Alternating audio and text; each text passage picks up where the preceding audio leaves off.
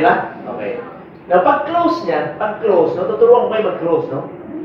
Pag ako yung nag-BPOM para sa inyo, dahil sa sobrang galing ko magsalita, pag ako nag-close doon sa kliyente nyo, para silang naisahan. Kasi mapapasali ko talaga yan. So, ang technique ko, hindi ako yung nag-close. Ang pinako-close ko yung nag-imbita. So, ang technique ko talaga, kunyari si Fonzie yung nagdala ng prospect, ako yung kumausap. Pagkatapos ko magsalita, sasabihan ko si Fonzie, Fonzie, kayo na lang mag-usap ni Mok kung paano siya magsisimula. Actually, sign nyo na i-close mo. Now, how do you close the sale? No? When you close the sale, you only ask questions. No? Magtatanong lang tayo ng question na ang sagot nila dapat yes. Huwag mo masasagutin ng no. Ha? So, mag-design ka ngayon ng question na ang sagot niya, yes lang talaga. No, paano yun? Yan yun, ha? Ganito. Kunyari ako si Ponzi, i-close ko na yung kliyente ko. Si Mok. Ganito, Mok, ano sa palagay mo? Ah, ito tanong ha. Ano sa palagay mo ang mas maganda pag-avail ng discount card? Yung 950 o yung 2,750? Okay. Huwag yung sasabihin mo, alam mo maganda yung 2,850 o yung 2,750. Why? Ito yung psychology niya. Yung tao, ayaw, ayaw niyan matanggalan ng power. So you let them decide. Kaya lang, dahil apat yung choices natin, nalilito yung kliyente. So you always give your client two choices lang. Siya yung magde-decide. So ang tanong, simple lang. Ano sa palagay mo yung maganda? Huwag yung sasabihin, ano sa, ano sa palagay mo yung magandang pagpamember? Nakuha ko to kay Robin Cruz. Alam niyo bakit? Pag sinabi mong magpa-member, yung subconscious mind ng tao isipin, ah, gastos yan. Unconscious na isipin niya, gastos yan. Magpa-member ka eh. So si si si Robin kasi kino-close niya yung kanyang kaibigan babae. Sabi niya, Ma'am, teacher, Ma'am, ano yung sa palagay niyo mas magandang pagpa-membership? Yung yung 2,750 o yung 950? Yung may kape na. Sabi niya, ayaw ko magpa-member talaga, ano, Robin. Pero gusto mo gumamit ng produkto. Sabi niya, opo. Oo, gusto ko gumamit ng produkto. Sabi ni Robin ganito, Ah, ma'am, huwag ka na lang magpa-member. Mag-avail ka na lang ng discount card. Sabi niya, sige yan, gusto ko yan. Magkano ba yan? 550. Kita niyo lang. Kasi yung term na ginamit niya, mag-avail ka ng discount card. Kaya ngayon, di, di, di niyo ako na, napansin kanina. Nagsabi ba ako ng membership? Wala. Wala. Kasi ang membership niya, gastos. So, ang term natin ngayon, mag-avail ka ng discount card. Klaro ba? Pagting klaro ha? Okay. So, kanya, sabihin ko kay Mok, o Mok, ano sa palagay mo mas magandang availment ng discount card? Yung 950 na may kape? Yung 630? O yung yung 2,800? Eh, 630. 550 plus 680 plus kape na 130. Di ba? Okay. Kasi huwag niyong iwanan na walang produkto eh, di ba? Sasabihin niyan, ay yung 850. Okay, ganito mag-close. O Mok, ano sa palagay mo ano sa palagay mo yung negosyo natin? Maganda o napakaganda? O ano sagot niya? Di ba, puro ano sa palagay mo yung negosyo natin? Maganda o napakaganda? Sabi niya, kung alanganin siya, ganito yan, ang sagot. Ang sagot niya ganito, ah, okay ma. Ah, sabi mo, sigurado ka? Oh. So ano sa palagay mo mas magandang pag-avail ng discount card? Yung 950 o yung 2,850? Sabihin niya, ang maganda yung 2,850. Okay.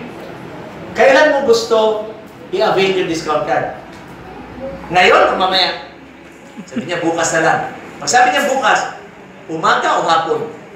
Sabi niya, hapon. Anong oras? Alas 2 o alas 4? Sabi niya, alas 4. Saan tayo magkikita? Dito o sa opisina mo? So, bigyan mo ng choice, dalawa. So, i-summarize mo lang. So, kung ang pipiliin mo, pag-avail ng discount card, 2,850, alas 4 bukas sa opisina mo. Tapos. Klaro? Okay. Now, pag sinabi niya, wala pa kasi akong pera eh. Ah, di ba sila rin? Wala pa kasi akong pera. Ang tanong, eto ang tanong, kasi wala pa kasi akong pera. Pero gusto mo nang subukan yung produkto. Ah, sabihin niyan, oo, gusto ko nang subukan yung produkto. O, sige. Bibigyan na lang kita ng, ito yung technique ha, bibigyan na lang kita ng libreng discount card. bibigyan na lang kita ng libreng discount card. Now, ang gagawin natin mga kapatid, mag-print tayo. Hinihintay ko lang si Fred. Ipopost ko sa Team Replica site yun. Mag-print kayo ng parang, alam niyo yung temporary ID? Yung puti, galing. Gagawa tayo nun, photo paper. Now, ikakat niyo yun. Kasabihan niyo siya, nilagay pa nila, ang nakaisip niyan, milyonaryo. Sino? Si Winston. Si Winston. Taga saan? Taga Pagadian. Milyonaryo. Sumali sa DXN. Grabe. Naglalako ng kape. Ganon kayaman yun. Ha? Pero ganon kayaman? Nung sinaksakan ng sinaksakan ng vaccine yung anak niya, nagkumbulsyon. Sarado na ang Pagadian Airport. Alam ginawa? Nag-rent ng aeroplano. Gumastos mga 800,000 para ma-ship yung anak niya sa Manila. Ganong kayaman yun. Pero nag-DXN. Sa kanyang idea to. No, maganda ganito. Meron kayo noon, mga printed na. Okay. Meron na silang printed. Alam mo, printed. May printed rin sila ganito. Nakasulat pangalan, telephone number, email address, birthday. Nakalagay sa papel. Nasabihin niya, para mabigyan kita ng discount card na libre, fill upan mo ito. So, pipill upan nila. Pagkatapos fill up, DXN app. Irerehistro nila dito online. Alam nyo, pag hinayaan mo kasi sila magrehistro dito, Hindi marunong. hindi marunong. So ikaw magre-rehistro, kunin mo yung details, tapos i-type mo, tapos pakita mo sa kanya. Kasi, tiyan mo, i-click nyo lang yung become a member. Pag-click, lalabas yan. Lalagay mo country, click mo Philippines. No? Pag click mo ng Philippines, lalagay yung sponsor. Ilagay mo yung sponsor code mo. Paglabas, paglagay mo kunyari ng, anong sponsor code mo, ano? 06, 06 47, 47 24, 24 739. 739. Pag-click niya ng continue, lalabas ang pangalan ni. Di mo, pangalan mo ba? Oh, Antara Alfonso. Ngayon, yung details niya, nakasulat dyan, no? Full name, lalagay mo, gender, no? Birthday, tapos continue. Lagay mo yung email address mo, tapos click mo. Tapos, pag-generate yan ngayon, ng number code. Yung code, ikaw ang magsusulat doon sa discount card na temporary. Sabi mo, oh, congratulations, meron ka ng discount card. Ito yung code mo. Bakit mo isusulat doon? Para hindi masulot. May code na siya. Pag pumunta ka dito sa address ng service center na to, kay Wilma, puntahan mo doon, ipakita mo to, sabihin mo, preferred customer ako dahil sa online. Yun sabihin mo, bumili ka na ng produkto, discounted ka na. Ah, di ba? Okay ba yun? Ang dami ni Fred na nakukuha doon dahil sa ganyan. Alam mo ginawa niya? Kasi nakita niya na doon sa Pure Gold, sa, sa Pure Gold ba yun? Basta meron isang supermarket doon, nakita niya may mga Lingsi coffee na binibenta. So, anong ginawa niya? Ang ginawa niya, inabangan niya na yun, yung mga bumibili. Pumunta sa security na abang siya ganyan. Nakita niya. Okay, sinabihan niya. Ma'am, alam mo ba na pag bumili ka, dumiretso ko sa opisina, malaki masyadong discount mo, 15 to 25% discount. So, kunyari, presyo ganito, sabihin niya, ang presyo niya doon ganito. Oh, doon na lang ako bili sa opisina niyo. Sabi niya, pero hindi ka man pwede dumiretso, kailangan may discount card ka. Oh, paano yun? Meron ako libre discount card. Fill upan mo ito, may bigyan kita ngayon. Ah, ka. Hindi na ako bibili sa grocery, diretso na. Downline pa niya. Klaro ba ako? Perting klaro ha? Meron pa siyang technique pagka-bright nito si... Ang bright nito si Fred. Alam mo bakit? Sinundan niya yung bumibili. Eh, na member na. Nakita niya. Tinitinda pala niya sa tindahan nila. Sabi niya, malakas pala yan. Oo, malakas. So, tinignan niya yung barangay ngayon. Pagtingin niya sa barangay, uy, merong mga, di ba may senior citizen dyan? Ang ginawa ni Fred ganito, pumunta siya sa opisina, pagdating niya sa opisina, sinabihan niya yung mga distributor doon na cross line niya. Sabi niya, okay, tingnan niyo ha, pag natututo kayo dito. Sabi niya, uy, merong doon sa lugar na ito, kunyari, Mahayag, merong health center doon. May munisipyo. Meron daw senior citizen. Now, meron silang meeting kada ganito. Kung gusto nyo, kayo na mag-present doon. Ako gagawa ng sulat ninyo para maka ma-aprobahan mag-present kayo doon. So, sulat niya, mga cross-line niya, mag-present doon. Pag-present, hindi ah, present. Nagkatapos present, na-inform sa produkto. Tama? Ang nangyayari ngayon, pag uwi, nakita doon sa mga tindahan, uy, meron pala dito, dito na ako magbili. Lumakas pa siya. Klaro ba? Are you learning something today? Yes! So, hihintayin ko yung gano'n kasi gagawin natin. Now, meron pa ako isang technique. Ito, personal experience ko. Okay. Now ako, pag nag-present ako sa isang tao, kunyari, na-meet ko siya, kinaibigan ko, di ba? Pag kinaibigan mo, tatanungin mo kung saan nagtatrabaho, alam na natin kung paano gawin yan, no? Now, pag naging kaibigan ko na siya, hindi ko talaga sinasabing DXN. Hindi ako nagsasabi ng DXN, not unless pilitin niya ako kung ano ginagawa ko. Okay. O kaya, pag sinabi niya, saan ka ba nagtatrabaho? Ay, ano ako, negosyante lang. Nagbe- Nagbebenta ako ng mga kuwan, groceries. ah, grocery items. Ah, ganun ba? oh? Now, di naging kaibigan mo na. Ang gagawin mo ito. Di ba ang style? Magbibigay ka ng business card? Laos na yan. Laos na. Ang style ganito, wrong way ah. Meron ka bang Facebook? Ah, yung style, Facebook. May Facebook ka ba? Sabi niya, oo, meron. Pwede mo ba ako gawing friend? Ah, pwede mo ako gawing friend? Ito yung pangalan ko, isulat ko. Sulat mo sa pwede pangalan mo, Osler Santo Tomas. Bigay mo sa kanya. Alam mo, pag ginawa ka niyang friend sa Facebook, kaibigan mo siya. Tama? Pag hindi ka niya ginawang friend, di, hindi ka niya naging kaibigan. Wala nawala sa'yo. Tama? Oo. Tapos, pag kinaibigan ka niya, ganito na. Di, mag, ano ka na, pag nag- meron siyang pinost, like, like mo na, like, like, like. Tapos, ganito ah. Uy, di ba na, imbestigahan mo kung ano yung kailangan niya, di ba? Uy, di ba nabanggit mo sa akin, may problema yung nanay mo? Ah. Oo, oh, bakit? Ano nga yung problema niya? Magkikwento siya, ganito, ganyan, ganyan. Ano nangyari? Kumusta na siya? Ganito, ganyan, ganyan, ganyan. Uy, alam mo, meron pa naman akong produkto na sa tingin ko makakatulong sa nanay mo. Ano yan? Saka mo padahan ngayon ng mga brochure. Tapos sabihin mo, para magka-discount ka, ito na naman. Okay. Pumasok ka sa website. Actually, meron akong ano dyan steps. Nakuha ko kay Alan. Papadala ko sa kanya, oh, sundan mo lang ito. O, fill upan mo. Tapos pag nagawa mo, napadalahan ka ng number, sabihan mo ako ah. Kasi para pagpunta mo sa center, i-refer kita para makasikaso ka agad. Yun yung tekniko. Klaro ba? o? Klaro ba? So gamitin natin ang Facebook. Bakit? Sigurado ako, lahat kayo nagpe-Facebook. Yung Facebook, kinakain ng oras na yan. So gamitin natin yan para tool, para makakuha tayo ng mga bagong tao. Okay ba? Okay? Okay pa sa alright? O kaya, hingin mo ulit yung details, bill-upan mo to, eh, bibigyan kita ng discount card.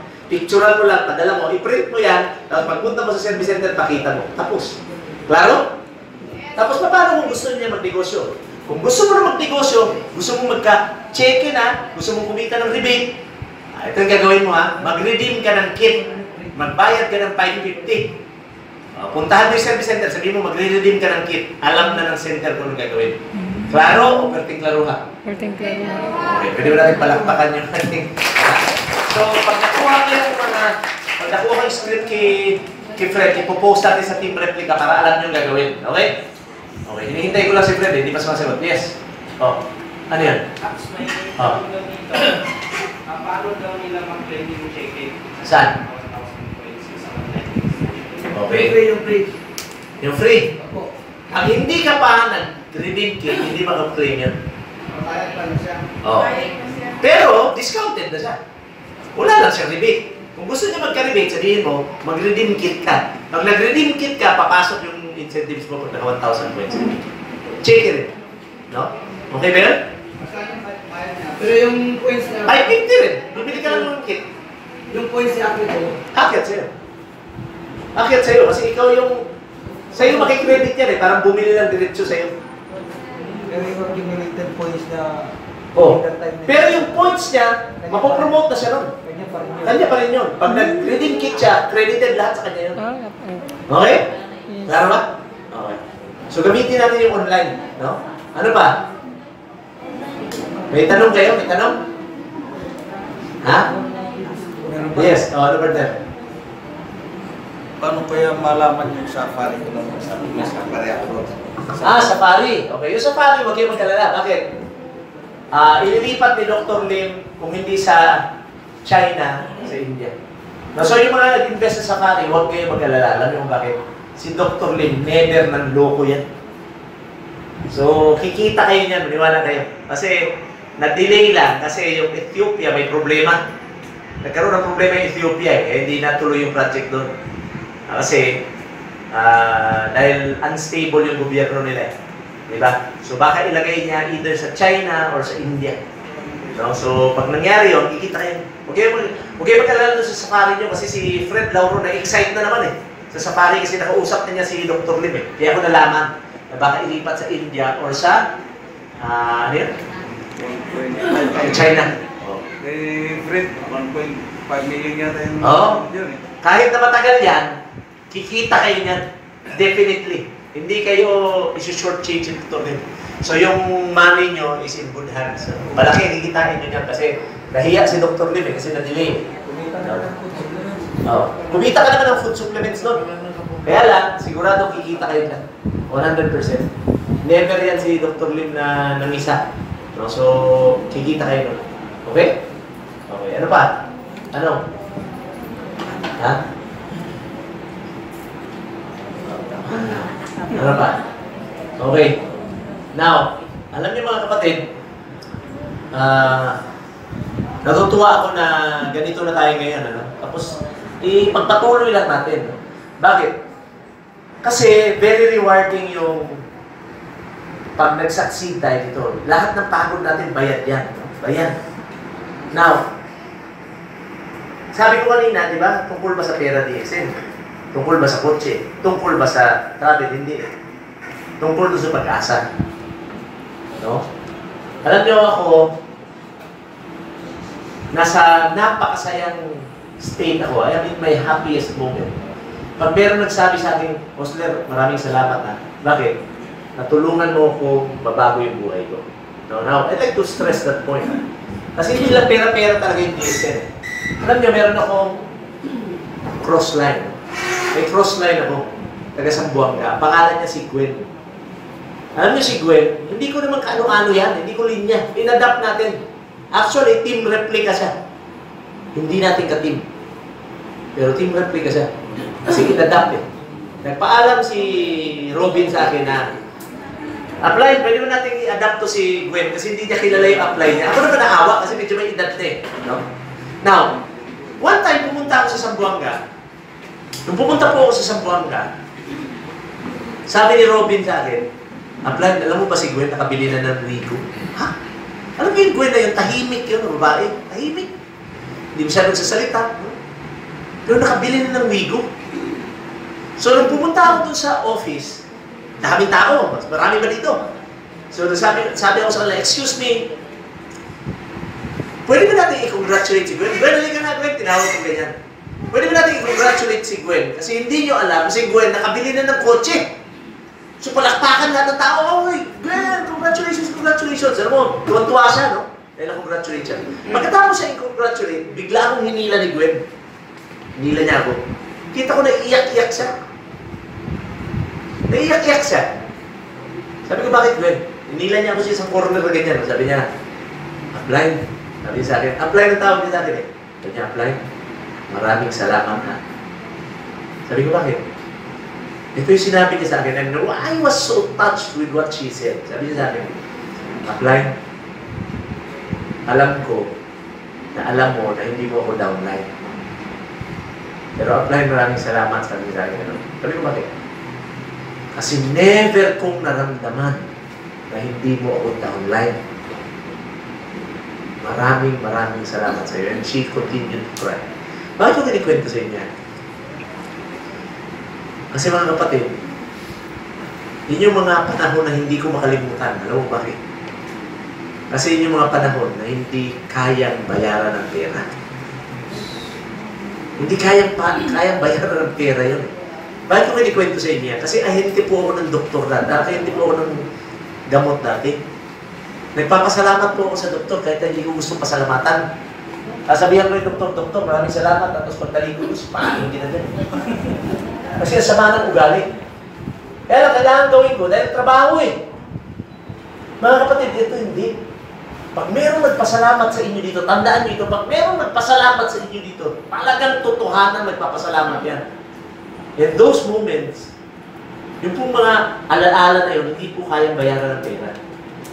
No? Kaya nga sabi ko sa inyo, DXN dito po sa pera. DXN is about helping people. The more you help people, the more you succeed. Kaya nga tayo dito, isa tayong team, ano? Baka meron tayong hindi ka team dito, okay lang. Tulungan natin sila. Grupo ni Boy ba ay tulungan natin. Bakit? Kasi isa tayong pamilya. Pag nakita ng tao na ganun tayo, sasali ng sasali sa atin yan. Kaya ba natin gawin yun? Yes! Pwede ba natin palakpakan yung sarili natin dahil hindi natin yun kapatid ang gustong gusto ko sa DXM. No, yung experiences na yun. And I've been experiencing it all my life. No? Ma Peruano man yan, ma Boliviano, ma ma Hungarian, nagpapasalamat sa akin ng taus-puso na natulungan sila. See? So I would like to continue on helping people because that will make you happy. Good morning, DXM. May mga tanong ba? Na. May mga tanong ba?